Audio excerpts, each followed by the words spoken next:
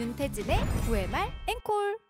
자, 레전드 선수에서 그라운드의 명장으로 거듭난 위대한 전설 황선홍 감독과 이야기를 하고 있는데요. 오늘 이랜드 뮤지엄 이 시대 최고의 스트라이커를 소개하는 특집으로 준비를 했다고 말씀을 드렸습니다. 네네. 2000년대 세계 4대 스트라이커 중 한 명으로 손꼽히는 선수죠. 현역 시절 두 번의 월드컵을 포함해서 다섯 번의 국제대회 우승의 주역으로 펠레 세대 이후에 카나리아 군단의 최전성기를 견인한 전설 호나우드 루이스 나자리우 지 리마. 아, 저 full name을 처음 읽어봤나 봐요. 호나우드죠? 네, 호나우드. 호나우드예요. 요즘 이제 좀 포동포동해지고 그래가지고 축구 팬들은 호돈이라고도 많이 부르는데 어? 비슷하네요. 누구랑? 배돈? 어, 진짜 비슷한 것 같은데? 요즘 별명이 배돈꾼이거든요. 아 그래요? 아하. 바르셀로나, 인터밀란, 레알 마드리드를 거치면서 발롱도르를 두 번, 피파 올해 선수 세 번, 월드컵 우승을 두 번 차지했고요. 코파 아메리카 우승 두 번, 월드컵 골든볼, 골든슈, 코파 아메리카 MVP, 득점왕 등 최고의 스트라이커 스타입니다. 축구의 황제, 갈락티코, 마라도나 이후 최고의 카리스마라는 수식어가 붙었는데 메시도 자신이 생각하는 역대 최고의 스트라이커로 호나우두를 꼽기도 하셨습니다. 황선홍 감독님도 뛰셨던 94 월드컵 때도 호나우두가 네, 뛰었고 네. 98 때 이제 또 호나우두가 최고의 활약을 펼치고 그랬는데 어 그때 당시에는 뭐 2002년도 월드컵도 마찬가지고 음. 최고였었죠.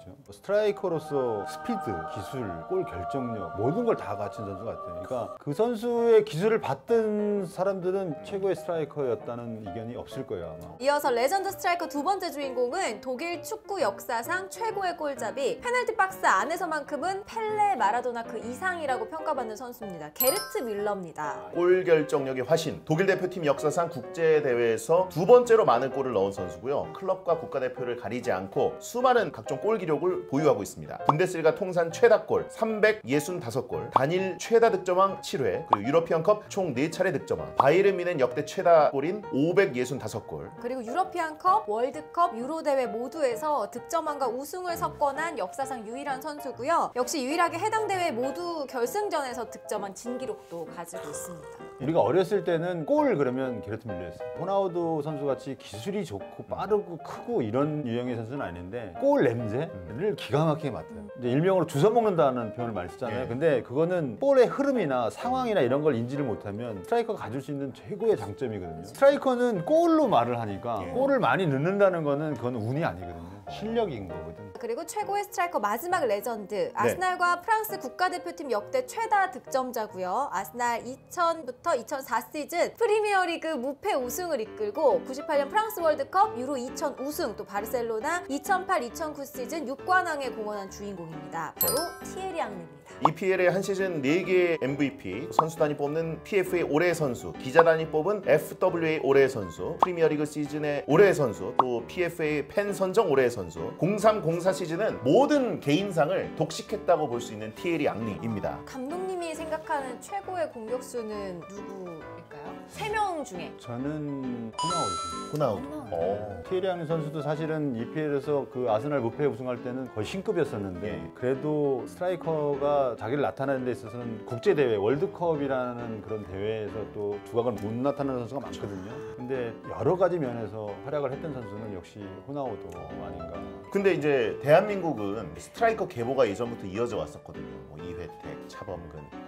황선홍. 그 다음에 좀 이렇게 뭔가 9번 스트라이커, 대표적인 스트라이커. 정통 스트라이커였던 갈증이 좀 꽤 오랫동안 벌써 한 10여 년이 된 것 같아요. 저는 사실 그 이동국 선수를 후계자라고 지목을 여러 차례 했었는데 예. 클럽에서는 사실 많은 활약을 했었는데 대표팀에서는 조금 네. 좀 아쉬움이 좀 있었고 예. 지금은 우리가 기대를 해볼 만한 선수는 황의조 선수가 아닌가. 황의조 선수. 네. 명맥을 또 이어줬으면 좋겠네요. 진짜. 그렇죠. 지금부터는 위대한 이 스트라이커들의 소장품을 저희가 좀 준비를 해봤거든요.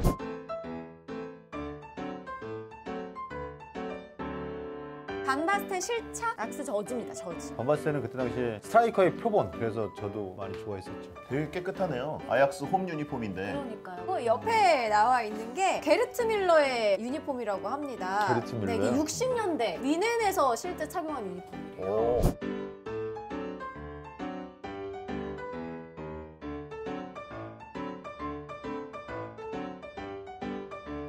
유니폼이 이렇게 면 소재로 된 거를 처음 봐요. 네. 번호도 있네. 네. 어, 조심하, 저, 저, 저. 조심하세요 그거. 짠! 아, 예쁘다. 이름은 안 그러니까 써요. 옛날에는 예. 번호를 이렇게 박았죠. 오바르크라 그러나 프린트를 안 하고 저렇게 아. 박았었죠. 어, 유니폼이 되게 심플하네요. 약간 티셔츠 같은 느낌이 되게 강해요. 근데 엠블럼도 없고 아무것도 없네. 네, 아무것도 그러게요.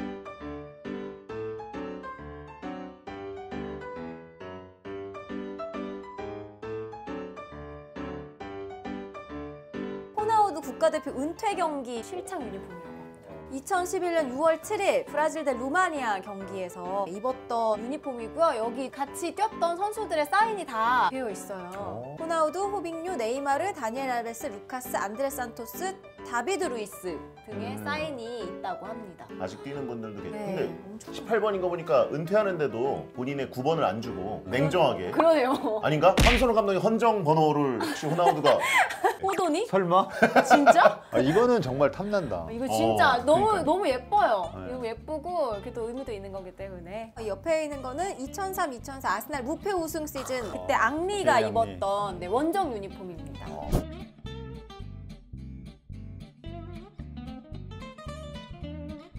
아스날에 저 O2 있는 게 최고죠. 그때 당시에는 이 마크를 보면 예. 공포의 대상이었어요. 그쵸 아 그쵸. 진짜요? 이건 그, 그 비교적 최근 거네요 그래도. 이것도 보존 상태가 상당히 좋은데. 그러니까. 보존 상태가 다 좋아요. 다 깨끗해요. 다음 소장품도 이어서 만나보겠습니다. 먼저 이 검정색부터 소개를 해드릴게요. 이거는 1977년, 78년에 아르헨티나 마리오 캠페스가 실제로 착용한 축구화라고 아, 마리오 마리오 캠퍼스.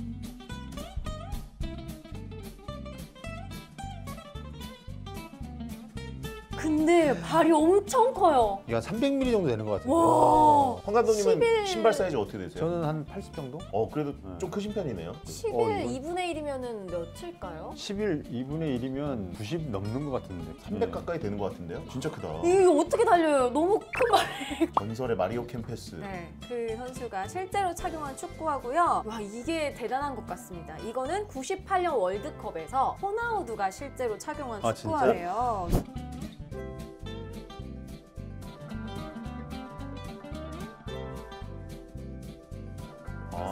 되어 있습니다. 그럼 여기도 있네. 로날도, 네. 호나우두 써 있네요. 조별리그 2차전, 조별리그 3차전 때 신었던 거래요. 2차전 때 브라질이 3대 0으로 승리를 했고 호나우두가 이제 이걸 신고 한 골 득점을 했습니다. 모로코전. 부분에. 그리고 3차전 노르웨이전에는 1대 2로 졌어요. 패했다고 네, 합니다. 만져봐도 됩니까? 네. 호돈의 축구화 R9라고 된거 보니까 호나우두를 위해서 한 것 같아요. 그런가 9번을 보네요. 이렇게 해가지고. 자 이제 마지막 소장품입니다. 이게 꽁꽁 쌓여져 있는 거 보니까 뭔가 엄청난 게 들어있는 것 같은데요. 94년 미국 월드컵 트로피예요.